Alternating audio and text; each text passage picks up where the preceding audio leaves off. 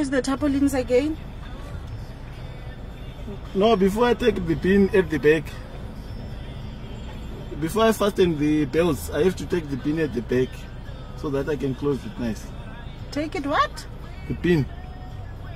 What happens? Say the whole process. You see, madam, to tell you the truth, English is difficult for me. Say it, it's fine.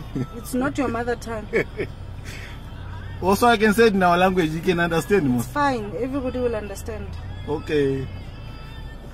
Eh, uchitipa usati wadzosera bhini masure unofanira kutanga wa- waridzosera wariradzika zvakanaka futi wozobata matambo ayaye ekumasunga kuitira kuti njodzi dzichiitika pamaini dzisaitika So I get it.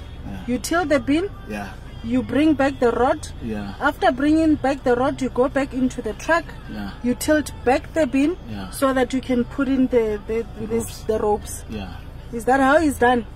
that is how I, that is exactly what i said in my language Yes. And that is how it's supposed to be done. yes Not tying the ropes with a tilted bucket, right? yes Okay.